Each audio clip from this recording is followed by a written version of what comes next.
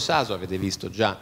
di cosa mi occupo, vi insegno uh, marketing e comunicazione d'impresa e organizzazione aziendale alla Università Marconi e diciamo, il mio lavoro è quello ovviamente di fare ricerca in particolare sulle nuove tecnologie, sull'innovazione. Il tema che eh, è stato chiesto di affrontare in questa uh, sessione è un tema ovviamente di grandissima discussione, è un tema molto complesso anche e cercheremo diciamo, di eh, eh, vederlo sia do, con un profilo eh, eh, veloce di quella che è la situazione attuale, di quelle che possono essere le attività future e vedremo che sono molto più interessanti rispetto a, alle, alle, cose che vediamo oggi in virtù appunto della tecnologia e eh, vedremo anche come eh, effettivamente eh, c'è stato un cambio e come questo cambio potrà ancora evolvere. Lo faremo insieme a degli ospiti molto, molto importanti che eh, comincio a presentare, avete visto anche eh, passare nella, nella, clip iniziale e che sono eh, il dottor Maurizio Abet che è Senior Vice President Communication Brand Image di Pirelli, oltre che professore alla scuola di giornalismo, della LUIS, eh, la dottoressa Marianna Ferrigno, Head of Italy and EMER SAT Communication Cisco System Italia, il dottor Stefano Grasselli, Brand Strategy Director e Global Network Development Director di Peugeot Motorcycles e eh, dottor Luciano Lufarelli, professore anche lui a, alla, alla, Università Hulme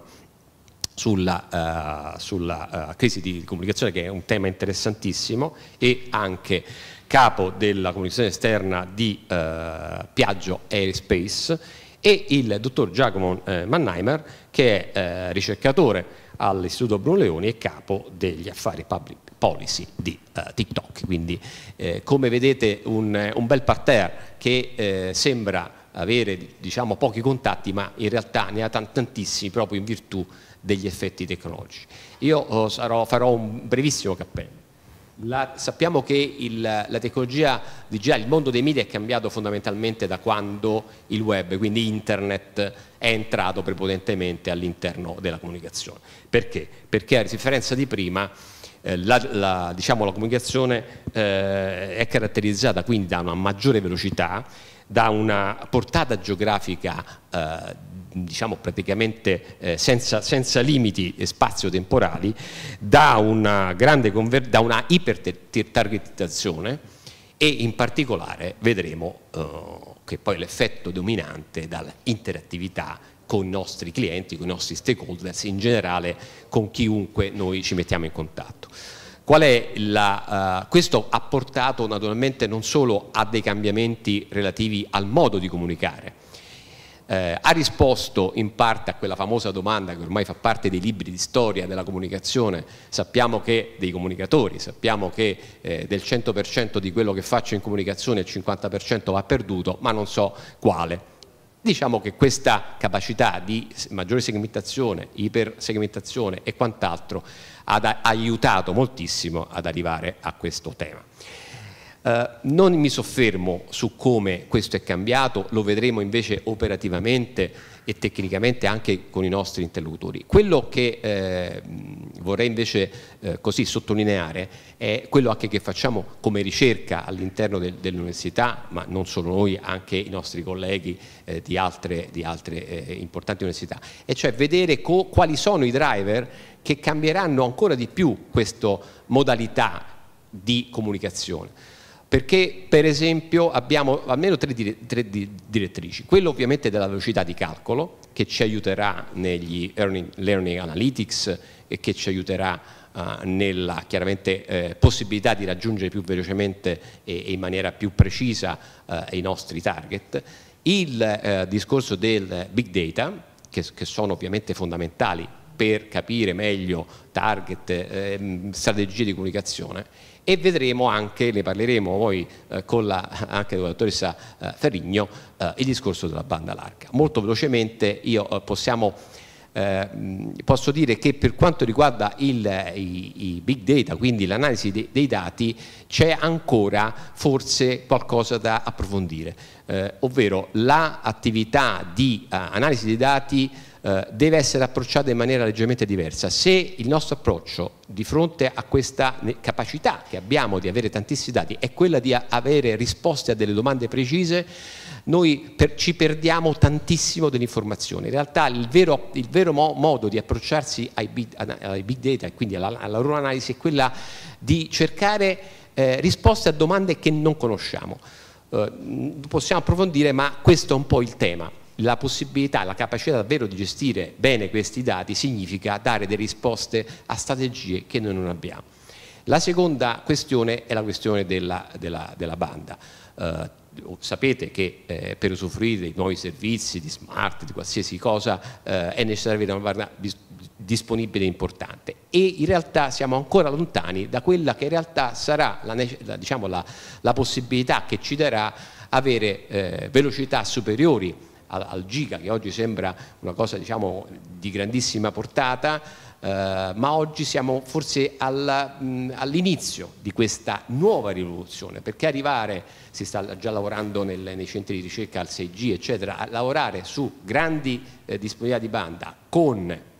ovviamente la possibilità di poterla far fruire a tantissime persone, cambierà di nuovo il paradigma di comunicazione attraverso attività che possono andare dalla, dalla realtà aumentata o dalla, o dalla um, realtà virtuale che immaginate quali possibilità danno di poter interagire con i nostri clienti. Naturalmente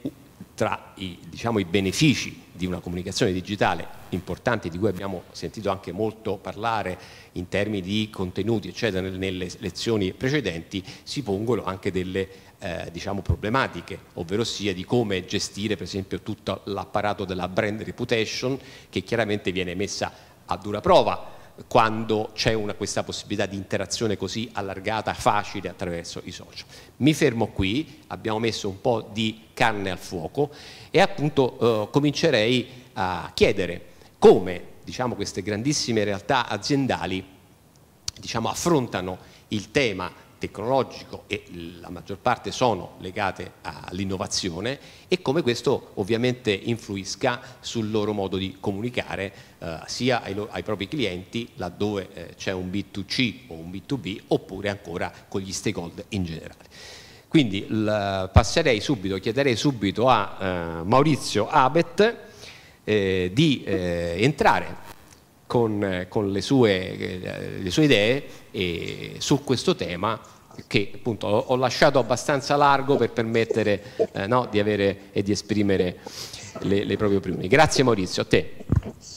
Grazie, buongiorno a tutti, grazie per, per l'invito. No, il tema che tu hai affrontato è larghissimo, quindi affronta tantissimi temi che appunto vanno dai dati a tutte le nuove tecnologie che ci permettono di targettizzare, di geolocalizzare, quindi ecco oggi quel 50% di quanto spendo, non so più dove vada, comincia a essere diciamo, una percentuale molto molto più piccola, anche dal punto di vista poi del calcolo dei ritorni, riusciamo a fare analisi puntuali che prima non riuscivamo a fare. Um, l'intelligenza artificiale oggi per esempio ci aiuta moltissimo anche nella lettura delle recensioni online per capire che cosa dicono di noi i nostri clienti, che sentiment hanno sui nostri prodotti in tutte le parti del mondo. Quindi è un tema appassionante che ovviamente dobbiamo seguire con molta attenzione e che seguiamo con molta attenzione. Um, io faccio un passo indietro per dire che ovviamente quando il digitale è arrivato eh, ci, ha, ci, ha, ci, ha, dato una grandissima opportunità, eh, oltre a, a, anche a qualche mal di testa, che era quella di comunicare tutti i giorni attraverso canali di proprietà un flusso costante di storie verso l'esterno che fino a quel momento noi comunicavamo soltanto attraverso i canali degli altri, con comunicati stampa, con, con, con l'advertising. Um, oggi le cose che tu dicevi rappresentano un salto quantico, ma ricordiamoci che non 30 anni fa, intorno al 2013, ancora 2012, io ricordo eh, i canali di proprietà dei brand, soprattutto in Italia, eh, quindi siti e social, vivevano ancora una fase molto embrionale no? dal punto di vista del, del, loro impiego narrativo. Lo storytelling era un tema da convegno, non una pratica quotidiana. Quindi da allora un po' alla volta ci siamo, come dire, tutti quanti trasformati in delle media company, cambiando uh, per sempre, come dicevi tu, il nostro modo di comunicare, anche il modo che,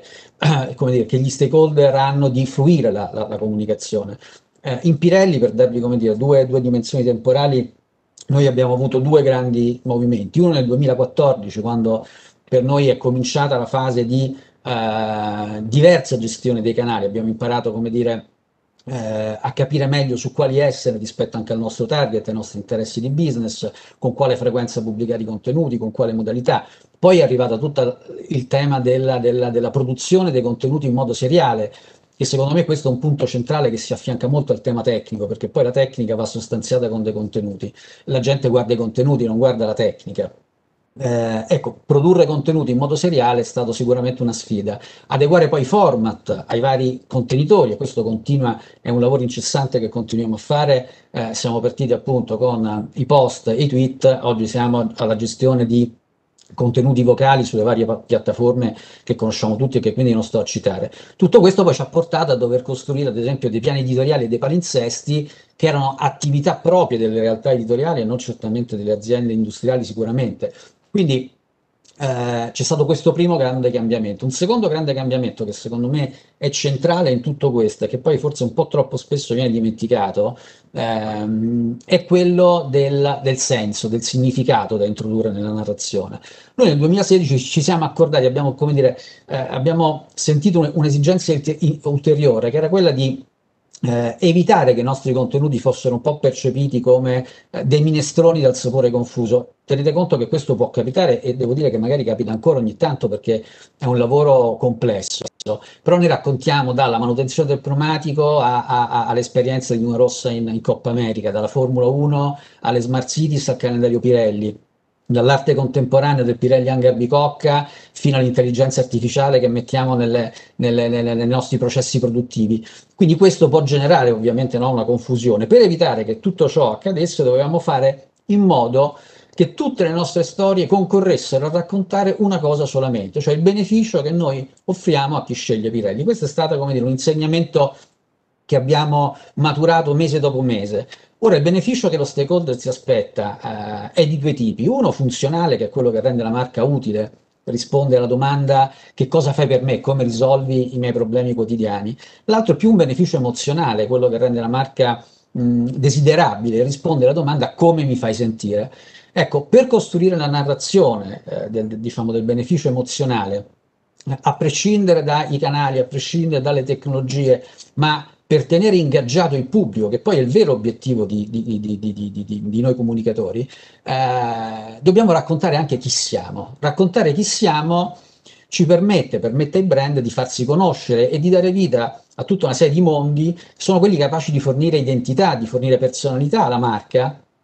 e in qualche modo di andare a occupare uno spazio all'interno della mappa valoriale che ciascun stakeholder, consumatore ha nella propria testa ehm, raccontare chi siamo eh, ci, ci, consente diciamo, di metterci in gioco e quindi ci permette di creare un link emotivo con la nostra audience. Ora,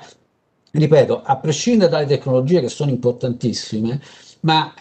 eh, quello che da noi è stato molto importante è cercare di capire come, cre- come, crearlo questo link emotivo. Legarsi emotivamente al proprio pubblico è difficile ma importantissimo. La Harvard Business Review, in un articolo di qualche mese fa scriveva che un cliente emotivamente legato vale il doppio di un cliente soddisfatto. Quindi anche dal punto di vista del valore, la capacità di essere un love brand, ieri è uscita una, una, una classifica che faceva appunto, dava, dava, uno spaccato dei primi 10 love brand in Italia, quindi essere amati, creare questa empatia è valore. Eh, ed è un elemento che va affiancato sicuramente a quello, a quello tecnologico. Quindi se io per sedurti, per farti innamorare della mia marca, devo raccontarti il beneficio, devo raccontarti chi sono, devo prima però scoprirlo e conoscere in qualche modo me stesso, individuando quelli che sono i tratti identitari di, di, di una marca. Ecco, identificare questi tratti identitari e poi verbalizzarli è stato uno dei lavori più complessi, dico molto più complesso della, diciamo, della, della tecnologia, che ovviamente poi eh, arriva da fornitori esterni, ma qui invece c'è un'analisi che devi fare eh, dentro casa tua ed è un lavoro di scavo lungo, è come quasi portare, lasciatemi dire, il brand dallo psicologo. Noi nel 2016, affiancati da una grande agenzia internazionale di, di, di pubblicità, abbiamo fatto esattamente questo lavoro. Abbiamo cercato di ricostruire la nostra brand essence, la vision, il purpose, la mission di Pirelli e lo abbiamo fatto andando nei nostri archivi, cercando di rileggere la nostra storia, facendo interviste al management, facendo interviste ai dipendenti, workshop e siamo andati online, ehm, parlavo prima dell'intelligenza artificiale per leggere, per cercare di capire qual era il percepito delle persone rispetto a chi era Pirelli. Ecco, tutto questo ci ha permesso di rispondere alla domanda chi è Pirelli? Qual è la ragione ultima per la quale esiste? Fare i pneumatici? No, se fosse soltanto questa il nostro spazio narrativo, la nostra capacità diciamo, di, di sedurre il pubblico sarebbero limitatissimi. Ora non vi sto dire, ad annoiare su quello che è stato il percorso, se andate sul sito della Pirelli trovate dichiarata la vision, il purpose e la mission, ma solamente quando noi abbiamo avuto chiari questi tratti identitari, questi elementi, siamo riusciti a costruire una buona narrazione del beneficio emozionale, che è quello centrale, ripeto, perché è quello che fornisce senso, identità, riconoscibilità alla marca. Eh, lo rendiamo visibile tutti i giorni attraverso i contenuti che produciamo e che danno forma alla dimensione valoriale, che oggi anche questa diventa sempre più centrale. Pensate a tutto il mondo ISG, ci sono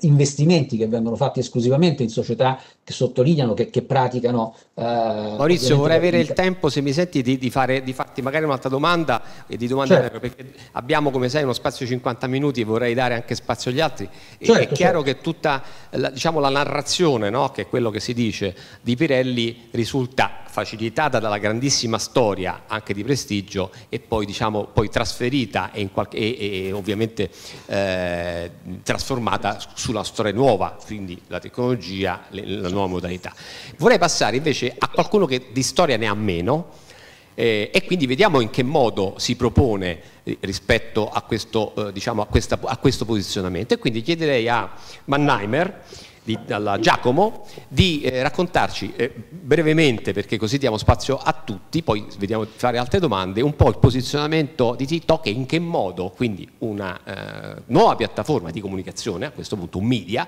si pone, si, si posiziona e come sfrutta appunto la tecnologia questo, per questa sua attività. Grazie. Grazie, intanto grazie mille eh, a, a, te e a tutti quanti. Eh, io appunto sono il responsabile delle relazioni istituzionali di TikTok per l'Italia. TikTok è una piattaforma di intrattenimento e in realtà proprio questo è un po' l'oggetto di quello che eh, vorrei raccontarvi, e cioè che TikTok non è un social network e proprio pe- per il fatto che è un social network penso possa raccontare un po' eh, del perché TikTok esiste e del perché TikTok in così poco tempo è diventato quello che è diventato. Voi considerate che TikTok è nata come azienda nel 2017, è presente in Europa dal 2018, così anche in Italia, ed è in assoluto l'azienda che almeno da quando, insomma, però che è cresciuta più velocemente nella storia del mondo.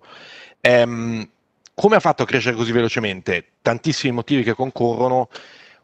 Una cosa è certa, TikTok è, ha agganciato un trend che era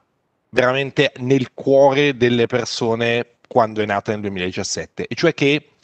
eh, i social network, diceva benissimo prima eh, il dottor Abed, che, che, che, tra l'altro ringrazio per l'intervento molto interessante, di fatto hanno sì dato una voce e uno spazio appunto di costruzione anche ai brand e alle persone di un proprio spazio personale,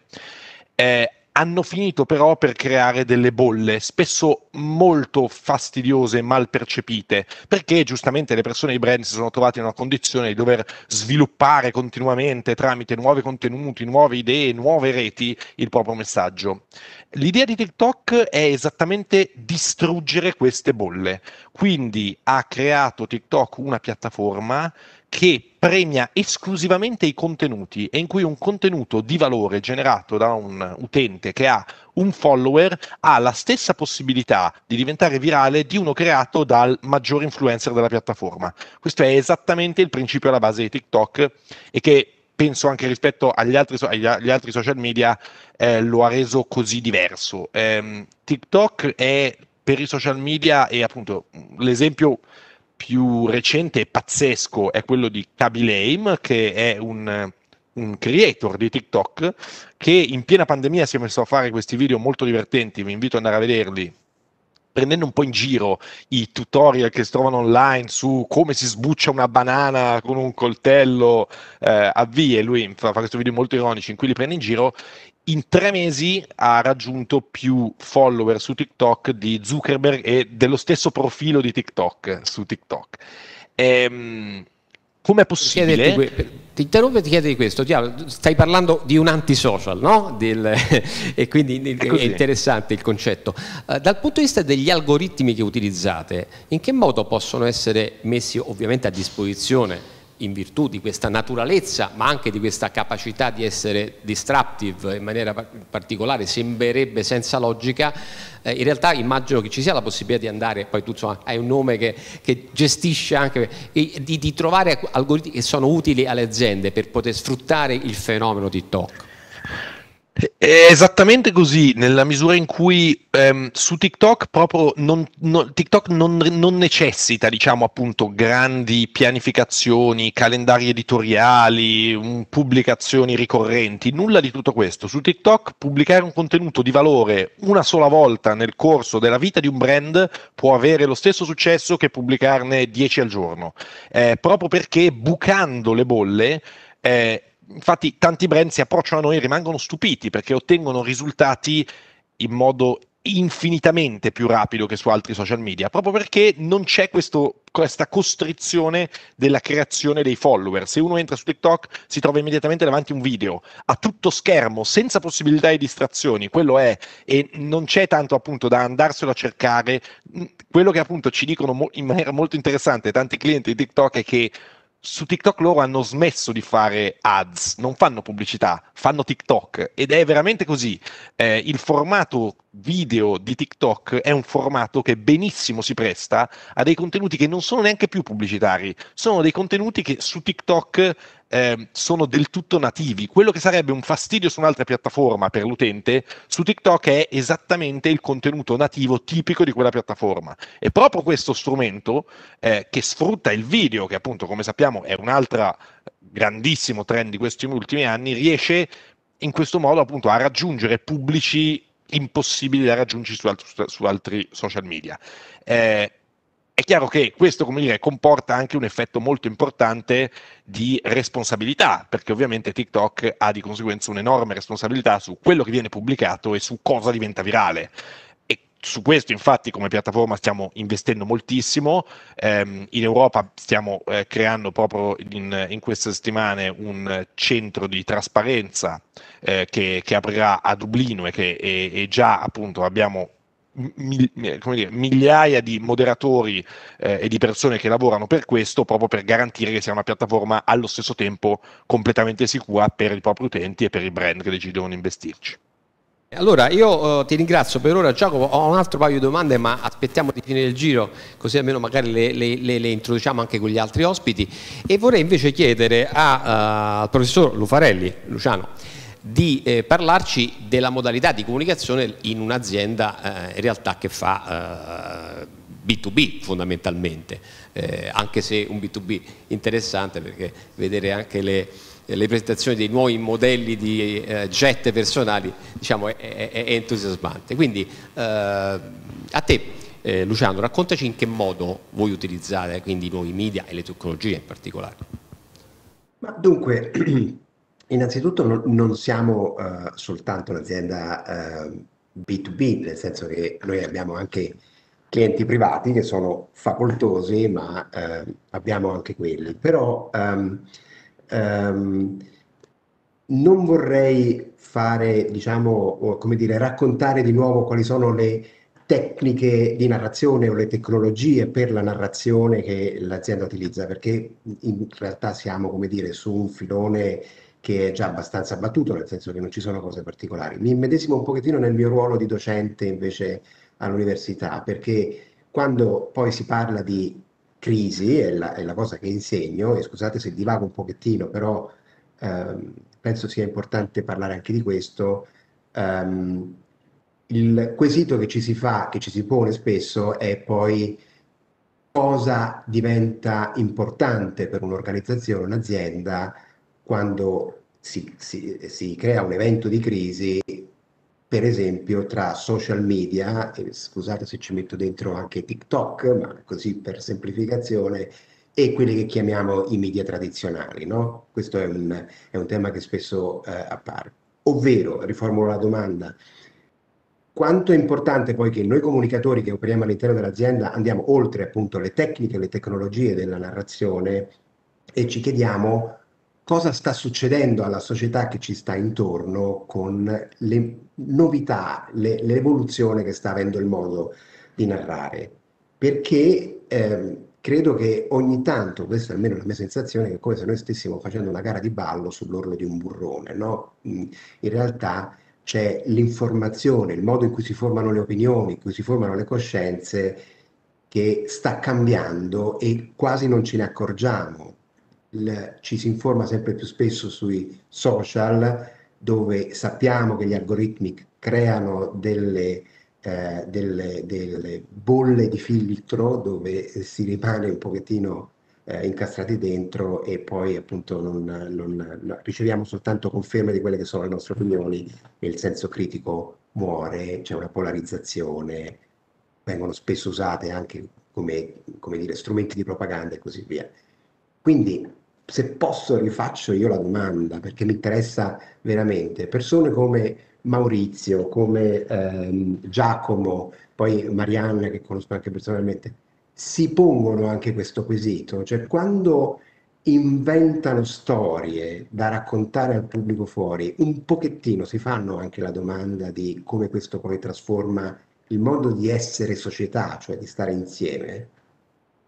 Bene, allora Luciano facciamo, eh, eh un collega professore eh, eh, prende subito il posto di mediatore e quindi la faccio mia questa domanda e la, a questo punto la rivolgo a Stefano, Stefano Grasselli che lavora su, uh, su Peugeot Motorcycles. Ecco, questa, questa eh, diciamo, domanda, questa riflessione che poneva appunto ehm, Luciano è qualcosa che fa parte, entra anche nella vostra attività di comunicazione? Comunque è una domanda che ti poni. Beh, sicur- buongiorno a tutti innanzitutto e grazie per l'invito anche da parte mia. Beh, sicuramente sì, sono riflessioni che si fanno, qualunque costruttore fa nel momento in cui deve orientarsi verso una clientela, clientela target. Eh, noi eh, ci siamo posti diversi quesiti circa 4-5 anni fa in una strategia di eh, premiumizzazione del prodotto, di internazionalizzazione del business, di transizione energetica e di eh, esperienza cliente. In quest'ottica il, il, come comunicare, la pertinenza di comunicare è stato, è stato strategica e il come sfruttare tutte le possibilità che la comunicazione ci, ci offre, quindi dalla quella classica a quella, a quella digitale che è sempre più presente. Chiaramente anche noi per, di fronte a queste, a queste sfide eh, ci siamo obbligati per certi versi a rifare la nostra piattaforma di marca per ben comprendere eh, chi siamo, che missione abbiamo, per, per, chi è la nostra clientela tipica, eh, la marca per quando in termini di utilizzazione e la marca contro chi, in quale, in quale scenario competitivo andiamo, a, andiamo a, a, a, lavorare. Quindi sicuramente le tematiche di comunicazione, di pertinenza della comunicazione verso una clientela in target, o una clientela potenzialmente in target. E sono state delle tematiche fondamentali, eh, da cui un, il ben calibrare il, il, brand piuttosto che i prodotti, eh, dove i prodotti fanno chiaramente parte del brand e integrano il brand, è stato molto importante anche come bilanciare sui vari assi di comunicazione tematiche puramente branding, quindi brand storytelling, e in una pertinenza di filosofia che però non può essere completamente distaccata da uh, vantaggio cliente e, e, da, e da vantaggio competitivo in termini di prodotto, nonché da uno scenario dove si eh, rivela identità del marchio, che è una forte eh, storicità, e un suo posizionamento futuro per le sfide eh, del futuro. Quindi chiaramente l'equilibrio su come comunicare puramente branding, come comunicare comunicazione e col classico drive to store eh, interagendo con il retail, con la rete distributiva, sono tematiche che ce le siamo poste. Eh, fortunatamente eh, oggi il digitale permette tutti i metrics possibili e anche il rapporto a una ventina di anni fa tutte le correzioni di una campagna in corso d'opera, quindi sicuramente eh, sono tematiche in, importanti con eh, una continua correzione di rotta in, uh, in fase di, di, di operatività. Eh, Stefano, tu che hai questa diciamo, esperienza internazionale importante, la domanda che ti faccio, a livello di eh, gestione eh, dei media e anche a questo punto di gestione dei contenuti, anche sulla base delle altre eh, riflessioni che sono emerse da questa discussione, eh, trovi delle, delle differenze eh, tra paesi in cui tu hai lavorato? Beh, guarda, io ho vissuto a Hong Kong e a Shanghai però per altri marchi ero, ero nel luxury boating, quindi un business completamente diverso, però sicuramente eh, l'utilizzo delle, dei, dei, social in quelle parti del mondo lì è leggermente diverso. Uh, il cliente era diverso, ma anche perché noi abbiamo, ti parlo di un'epoca in cui stavamo sviluppando i mercati. Uh, cito anche per i quali marchi, Azimut Benetti prima e Ferretti Group dopo, in un mondo dove eh, dovevamo fare anche un'evangelizzazione prodotto. Quindi chiaramente il, il, brand storytelling era importante ed era importante spiegare anche l'utilizzo del prodotto in termini, in termini tecnici. Però sicuramente quel cliente ha un utilizzo diverso del prodotto, un utilizzo di conseguenza diverso anche delle, dei, dei social, della loro utilizzazione, eh, è, un, è un genere di cliente molto più connesso a prescindere da qualunque fascia di età il rapporto cliente, al cliente europeo e quindi chiaramente la tematica di comunicazione deve assolutamente tenerne conto. Però questo diciamo che cito esperienze dell'Axel Boating di, di, qualche anno fa, non tematiche di automotive. Nell'automotive eh, l'utilizzo è leggermente diverso, la, la, clientela è differente, oggi non si può più oh, dissociare la comunicazione branding da quella drive to store al retail e soprattutto tutto questo mescolato con ehm, l'esperienza cliente, il customer journey, perché ormai con la strategia omnichannel tutto quanto è, è, connesso e si deve cercare di trovare un equilibrio sia di eh, come raggiungere clienti in target, sia anche di eh, come ottimizzare le risorse budgetarie in un'ottica eh, sia di branding per essere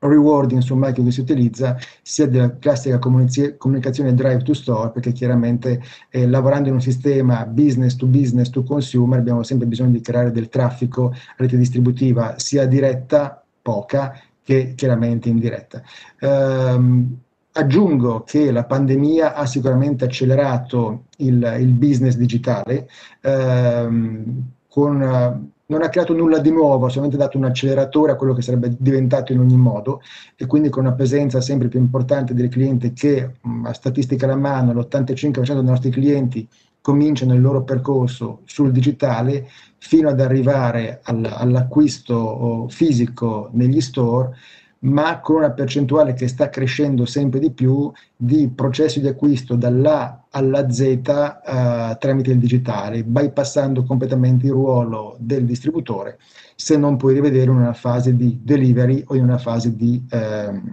after sales. After sales che chiaramente sarà eh, fortemente modificato nei prossimi anni in quanto con la progressiva elettrificazione tutta la strategia distributiva, chiaramente il ruolo di distributore verranno parzialmente rimesse in discussione. In quest'ottica chiaramente tutta la comunicazione digitale deve essere di supporto sia da un termine di punto di vista di features prodotto e sia da un punto di vista di enfatizzare il, il marchio, la sua identità, eh, il, lo storytelling perché comunque eh, statistica alla mano nel nostro settore il cliente entra sempre da una, due o massimo tre marche che ha intenzione di, eh, di acquistare o di investigare quantomeno. Il cliente nel nostro mondo non entra dalla cilindrata, prima di tutto, quindi questo è importante saperlo.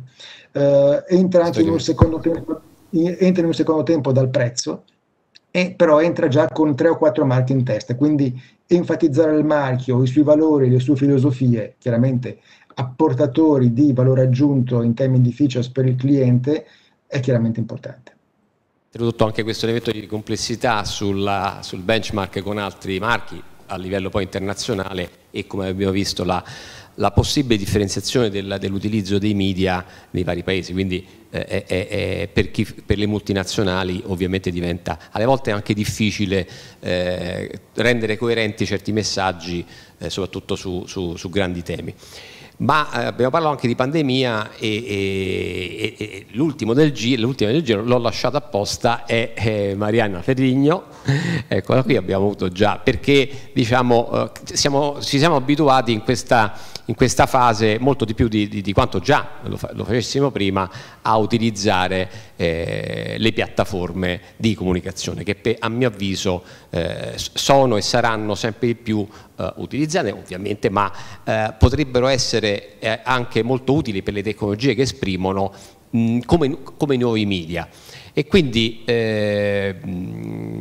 Marianna, ecco, qual è stata l'esperienza? Eh, ovviamente Cisco sappiamo insomma, fornisce eh, tantissime altre cose, quindi non è limitata, però oggi WebEx cioè, eh, eh, lo stiamo utilizzando credo anche in, in questo momento, eh, è senz'altro la piattaforma business più, più, più solida, più, più performante, ma è quella su cui si stanno facendo anche tantissimi studi. Quindi Marianna ti lascio la domanda aperta perché credo che il vostro business internazionale o globale è veramente qualcosa che può essere utile vorrei che lo ricollegassi pure alle nuove tecnologie, soprattutto alla capacità tecnologica di avere una banda più larga per fare delle cose ancora più spettacolari. A te. Sì, grazie. A parte l'interesse, eh, cioè, sono stati toccati da, anche dai colleghi veramente tantissimi punti su cui mi trovo. Eh, vediamo un attimino cosa è successo lato nostro. Um, con la, con la, pandemia tanti temi che noi, eh, di cui parlavamo già prima, eh, quindi la tecnologia, come la tecnologia abilita eh, nuovi modi di lavorare, di, di, di, vivere, eccetera, tutti questi temi sono diventati di attualità, mentre prima erano quasi dare una sorta di visione del futuro, sembrava come dire ti, ti spiego il futuro come lo vediamo, in realtà questo è diventato, mh, c'è stata un'accelerazione incredibile, no? Per cui cosa è successo? Che per noi è da un certo punto di vista stato più semplice oggi, cioè oggi parlare di tecnologie di collaborazione, eh, parlare di, um, di, tecnologia in generale, di cloud, è, è, è, un qualcosa che non è più solo per gli addetti ai lavori, ma è diventato addirittura un tema economico. Noi vediamo che il piano PNRR per la ripresa del paese è praticamente basato tutto comunque sulla digitalizzazione. Però cosa è successo? Che le aziende come le nostre, quindi le, le aziende soprattutto di, di, tecnologia, ma soprattutto che non sono uh, consumer, come può essere magari uh, una Microsoft, cioè che hanno comunque un brand che era già mh, proprio noto a tutti, quindi molto più eh, diciamo B2B, eh, hanno cominciato, a, a noi abbiamo come comunicatori, abbiamo avuto l'esigenza di eh, rendere il nostro di, di, comunicare diversamente. Questa è una, una, diciamo, un'evoluzione che era già in essere, ma che sicuramente uh, con la pandemia è, è, si è accelerata. Quindi comunicare anzitutto un ruolo di e anche una responsabilità di divulgazione della tecnologia, quindi cos'è, cos'è proprio per, far, per farne capire non tanto le cose tecniche, non necessariamente gli aspetti tecnici, ma proprio anche le potenzialità. E quindi è cambiata anche la nostra narrazione non più prodotti, ma come si diceva anche prima, no? valori, emozioni, perché di fatto oggi non parliamo più di che cosa fa la tecnologia in sé, ma di che cosa ti consente di fare. E quindi tornando alle, alle, alle tecnologie di collaborazione tipo WebEx adesso, eh, c'è un incredibile lavoro e ci sono incredibili studi su e implementazioni costanti. Noi abbiamo recentemente ehm, eh, annunciato de, diciamo, delle, delle nuove features di, di, proprio di WebEx che consentono quello che noi definiamo un po', e, e qui mi, mi, ritro- mi riallaccio ai valori, al futuro inclusivo. Inclusivo, in futuro inclusivo vuol dire la tecnologia che abilita un futuro che dia un'opportunità a tutti, che prevede chiaramente quindi anche di rivedere tutto e, tornia- e anche la banda larga quando dicevamo, no? cioè avere eh, il Covid ci ha fatto vedere come effettivamente ha creato, ha reso visibile il famoso digital divide. Se tu la, sei connesso, hai una serie di benefici, eh, dalla possibilità di collegarti per la lezione, a, a pubblica amministrazione, cose eh, come dire, um, eh, certificati che puoi scaricare, eccetera. Se tu non hai questo, sei effettivamente oggi tagliato fuori. Con queste tecnologie qua, quindi ehm, il futuro inclusivo vuol dire avere queste piattaforme che consentano di avere un'esperienza eh, più, ehm, più vicina a quella che è l'esperienza reale e che consente, quindi ci sono studi, per esempio, Ah no, prima di tutto features molto semplici tipo eh, traduzione simultanea e qui eh, mentre quindi eh, da qui il futuro inclusivo, cioè inclusivo per tutti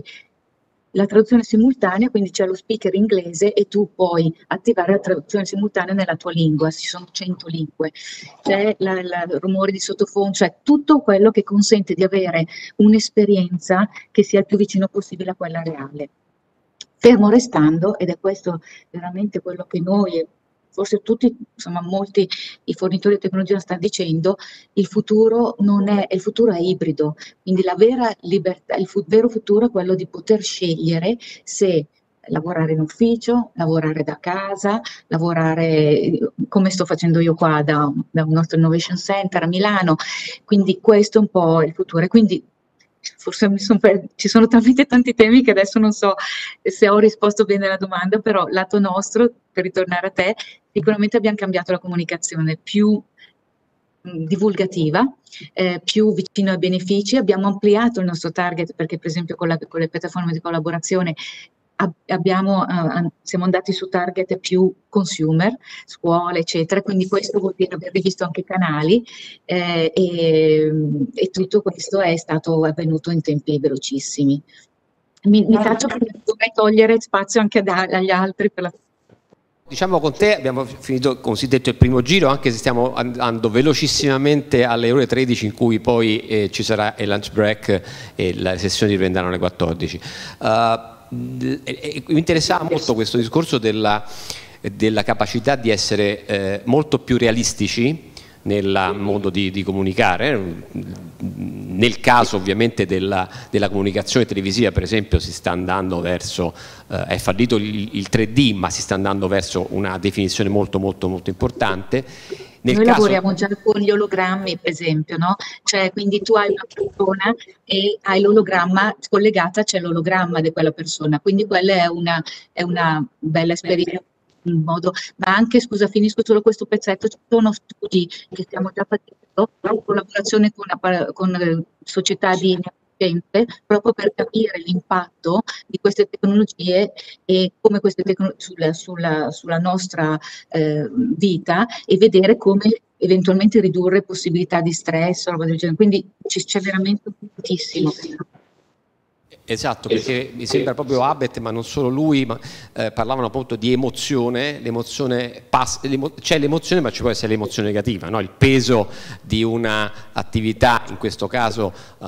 legata a, a, mezzi che sono pesanti, quindi andare verso una fruizione più semplice, più facile, ovviamente anche dal punto di vista della qualità, no? perché comunque abbiamo parlato di ancora tecnologia importante ma non di banda sempre eh, de decisa e che può per, per permettere anche la, sonor la, sonorità, non solo la qualità del video e quindi l'appresentimento. Allora, la tecnologia c'è perché se pensiamo, per esempio, appunto noi abbiamo queste videoconferenze che sono fatte con telecamere, per esempio con l'intelligenza artificiale dove la qualità dell'audio e del video è altissima, la telecamera ti segue, quindi proprio tutto, quando tu parli, se ti sposti.